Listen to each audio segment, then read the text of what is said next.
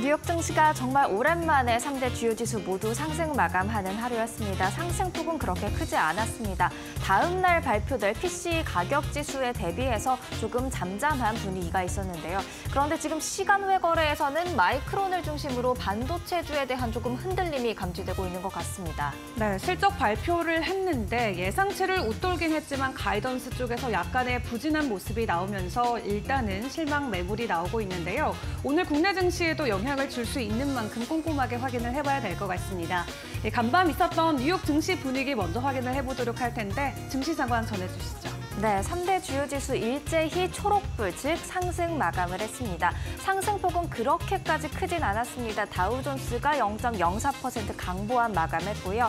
나스닥과 S&P 500 지수 각각 0.5%가량, 그리고 0.16%가량 오름세를 보였습니다. 사실 S&P 500 지수 같은 경우에는 비중이 꽤 크게 자리 잡고 있는 엔비디아가 장중에 좀 하방 압력을 받으면서 같이 하락세를 나타내는 분위기도 나왔는데요. 엔비디아가 소폭 상승에 성공하면서 S&P 500 지수도 빨간불을 켠 것으로 보여집니다.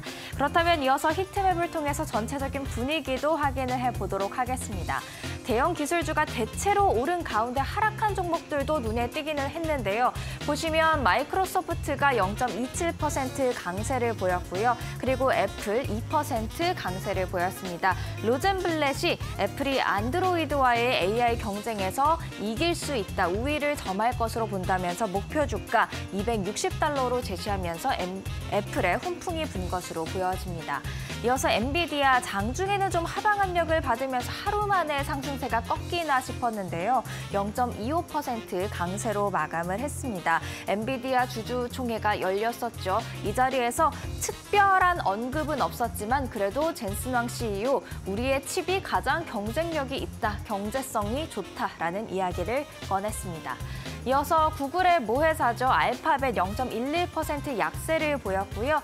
이어서 메타가 0.5% 강세, 아마존은 4% 가까이 오르면서 사상 처음으로 시총 2조 달러를 돌파하는 모습을 나타냈습니다. 생성형 AI에 대한 기대감으로 지금 투자자들이 아마존을 바라보고 있는데요. 아마존 웹 서비스가 있기 때문입니다. 이 지난 분기 실적 발표 때 둔화 추세에 접어들었던 이 AWS가 반 반등하고 있다라는 점에 투자자들이 집중하고 있는 것으로 보여지는데요. 비용 절감 노력을 하고 있다라는 점에도 시장 긍정적으로 반응하고 있습니다. 이어서 테슬라 4.8% 강세를 보였는데요. 지금 리비안이 훈풍을 탄 것과 영향을 받기도 했고 또한 스티펠이 매수 의견으로 테슬라에 대한 커버를 시작하자 주가의 호재로 작용한 모습들 나타나고 있습니다. 또한 모델 3, 모델 Y 업그레이드와 함께 차후 생산될 모델 2에 대한 기대감 지금 반영해야 된다라고 스티펠 설명한 바 있습니다. 그러면 이어서 마이크론의 실적도 점검해보고 가도록 하겠습니다. 어, 지금 마이크론은 반도체계의 풍향계라고도 불리기도 합니다. 그만큼 가장 빠르게 실적을 발표하기 때문에 뭐 삼성전자와 SK하이닉스에도 영향을 미칠 수 있어서 많은 분들이 주목을 하셨을 텐데요. 일단 실적 자체만 놓고 보면 좋았습니다. 매출액과 주당 순이익 모두 예상치를 상회하는 결과를 나타냈고요. 가이던스도 시장 예상치에 부합하는 수준의 발표가 됐 습니다. 하지만 그럼에도 불구하고 시간외 거래에서는 지금 급락세를 나타내고 있습니다. 시간외 거래 움직임 함께 보실까요? 어, 장중에는 꽤 많은 급락세를 보이다가 그래도 지금은 3%대의 하락세로 조금 낙폭을 줄이는 모습 나타나기는 했는데요. 지금 마이크론이 AI 열풍에 같이 올라타서 함께 기대감이 많이 반영됐던 만큼 어, 예상치에 부합하는 가이던스만으로는 좀 실망 실망스럽다라는 이야기가 나오고 있습니다. 그러면 이어서 특징주도 확인을 해보도록 하겠습니다. 수요일장의 특징주 세 가지 꼽아봤습니다. 일단 리비안 전거래일에 이어서 밤 사이에도 23% 이상의 상승세를 나타냈습니다. 계속해서 폭스바겐이 투자한 것에 대한 그런 투자 심리가 집중이 되고 있는데요. 월가에서는 이번 폭스바겐의 투자가 리비안에게는 턴어라운드 기회가 될 것이다 라는 호평을 내놓고 있습니다. 이어서 페덱스도 15.5% 급등세를 나타냈습니다. 어, 실적을 발표했는데 매출이 221억 1천만 달러를 기록했고요. 주당 순이익 5.41달러를 기록을 했습니다. 예상치에 상회하는 결과가 나오면서 페덱스 긍정적인 분위기를 보였습니다. 한편 리비안과 페덱스 모두 좋은 흐름을 보여주니까 전기차 전반에 그리고 UPS 등 다른 물류회사, 운송회사 전반에도 훈풍이 분 모습들 어, 수요일장에서 확인할 수가 있었습니다. 마지막으로 월풀 보고자 합니다. 17% 급등세를 보였는데요. 가전제품 판매 업체죠. 어, 경쟁사라고 할 수 있는 보쉬가 인수 제한을 검토 중이다라는 로이터 보도에 주가 상승세로 반응을 했습니다. 그렇다면 이어서 국채금리 수요일장에서는 어떻게 움직였을까요? 2년물과 10년물 준비가 돼 있습니다. 오름세를 보였습니다. 아무래도 기술주에 조금은 장중 하방 압력이 가해졌던 원인으로도 생각을 해볼 수가 있겠는데요.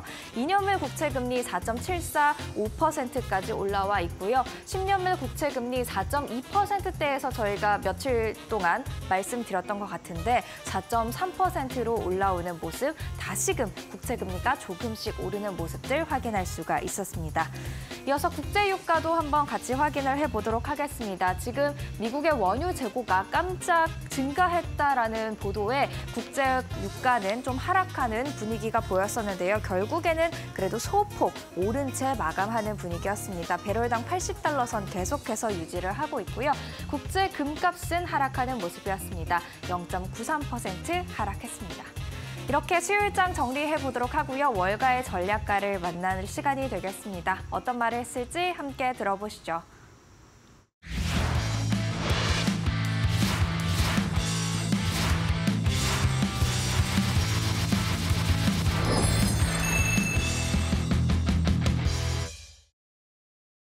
When we look at the trading action today, I, I think markets are really in a holding pattern. We received some economic data today, nothing that was really earth shattering. I think really most people are waiting in anticipation of Friday's inflation report. And so we've seen the last couple of days, there's been some volatility, some movement beneath the surface, but I think today is really a, a resting day more broadly.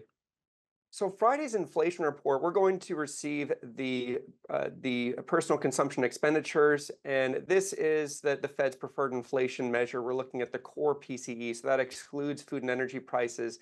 By the time we get this monthly data print, uh, we already have the consumer price index and producer price uh, index to inform our view and our expectations. So you don't normally see a whole lot of surprise with this data point.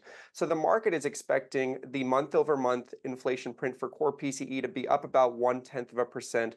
If so, that's going to be the lowest print all year. On a year over year basis, uh, uh, inflation could be at about 2.6%, so the lowest in, in a few years. So this is expected to be a very Fed friendly inflation report as I said, I don't expect a whole lot of uh, of reaction or um, or surprise, but I think it's it's really just going to lend more support to the Fed, who is really just hoping to see some additional evidence of of disinflation uh, in the economy.